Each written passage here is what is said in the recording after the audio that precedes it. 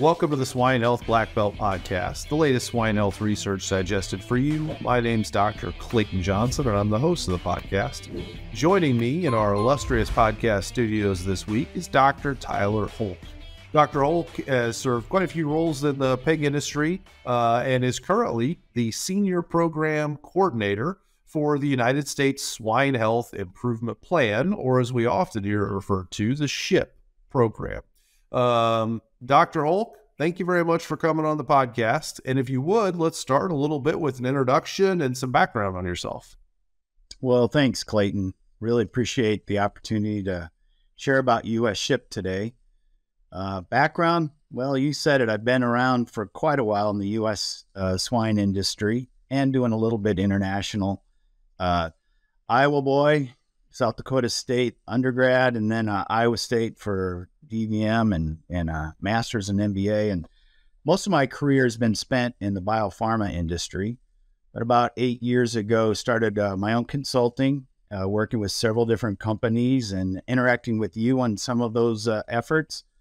And then uh, a little over two years ago, Dr. Roger Main from Iowa State approached me and asked if if I would be willing to help kick off this U.S. Swine Health Improvement Plan, a uh, pilot that we'll get into that we're quickly moving towards a USDA uh, codified program. Excellent. Well, the U.S. Swine Health Improvement Program, it sounds like a very, very large program. Talk to us a little bit, Tyler, about what is the mission, what's the vision, what what do we hope the program can achieve for pig producers? Yeah, well, Clayton, I think it's best to probably start with well, where was the idea? Where what was the impetus behind even trying to accomplish this? And uh, really, about four years ago, Dr. Roger Main, along with several other individuals, said, "Is there something that we can do that would transformationally change the health of our U.S. swine industry?" And looking to other industries. They spent a year studying the poultry industry and specifically the National Poultry Improvement Plan. And they did a case study which was funded by SHIC, the Swine Health Information Center, that basically then concluded that what the poultry industry has for a National Poultry Improvement Plan could very much that basis, that foundation could that model could very much serve our U.S. swine industry very well. Um, and so that was com- accomplished back in 2018, 2019, and by 2020 is when the USDA said, you know what, let's fund an initial pilot to see what a program on the swine side might look like, or from the poultry side might look like in the swine world. Very good. You know, I think there's opportunities for us to learn from the poultry industry. They've had to deal with high path AI outbreaks here, uh, and I should say high path avian influenza outbreaks here uh, repeatedly. Unfortunately, over the last you know six seven years, they've had a couple of major outbreaks. I guess going back to 2015, um, and it sure seems like um, there have been some major pain points in dealing with those. I think everybody in the poultry industry would tell us that that's not been fun uh, depopulation, you know, carcass disposal, and then the trade impacts. Um, you know, we may not be able to change the fact that some of that depopulation and disposable, we've got to go through that. But the trade impacts sure seem like they have been less and less of an event. You know, each year they've had to deal with it. Do I do I read that incorrectly, Tyler, or does it seem like they're kind of setting up a pathway or a model that we should be trying to follow? No, you're spot on, Clayton. And and as you asked about, well, what actually would be the vision for what U.S. SHIP could accomplish for the swine industry? We're seeing that real time right now on the poultry side. So, again, we're modeling SHIP after the NPIP from the poultry industry. By the way, that's been around since 1935. It started with some domestic and endemic diseases like Salmonella pullorum, but recently they established an H5H7 avian influenza program within NPIP. And that literally has been developed over the last few years. And to your point, high path AI or high path avian influenza is a trade impacting disease for our poultry industry, similar to what ASF would be for our swine industry. And in 2015, before the HiPath AI program in NPIP was fully developed, there were 60 countries that stopped importing poultry from the US due to that high path outbreak in 2015. Wow. The poultry industry continued to work on that program, built in some more biosecurity components. And in 2022, last year, and as we know, continues into 2023, which is an even larger outbreak in the US with high path AI, there's only two countries that have banned poultry from the US. They've trusted the NPIP program, which serves to identify or provide evidence of the freedom of disease. And so those countries have gone down to either the state or even the county level rather than saying we won't take poultry from the entire US. So if you think about that comparison of HiPath AI in poultry to what would potentially happen with ASF in swine, that would be the crux of well, why would we want to develop a U.S. swine health improvement plan, and why now?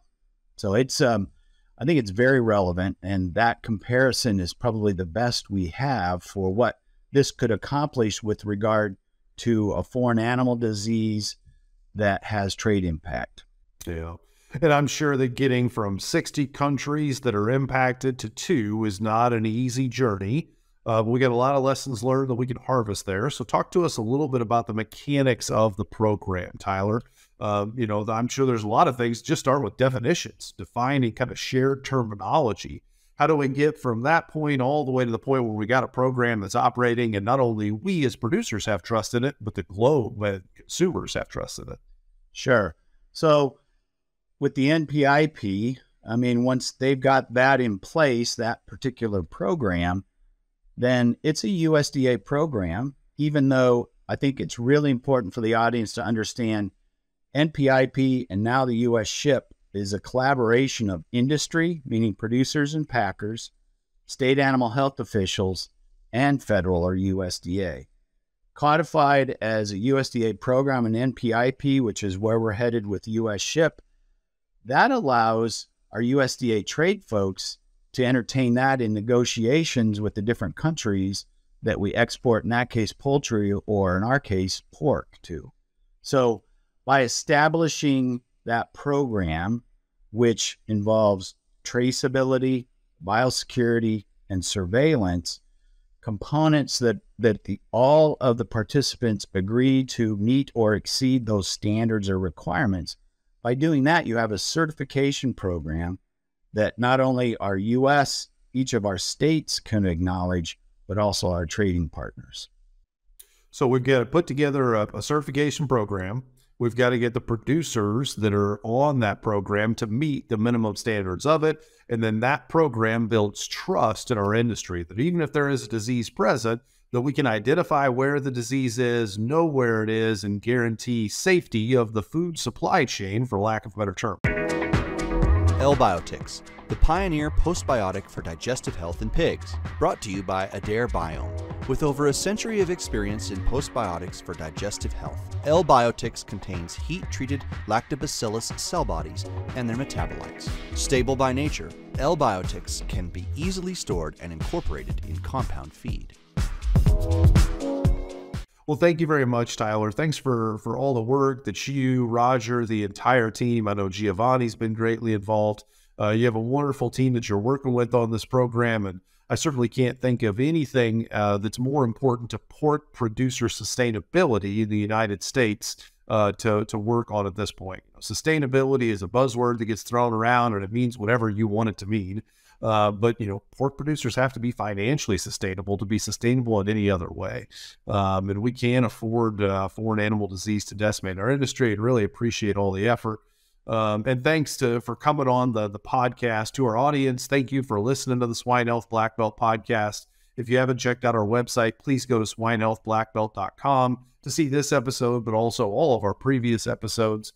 Uh, don't forget to subscribe to the podcast so that you can stay up to date on all the great information we're bringing you every week.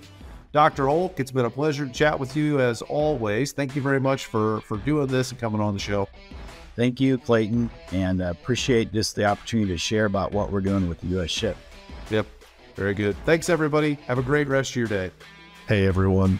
We're always searching for the latest and greatest research to share each week. If you have a swine health related research trial and would like to come on the show to talk about it with me and share it with our audience, feel free to send an email to healthblackbelt at swineit.com and we would love to take a look at your research.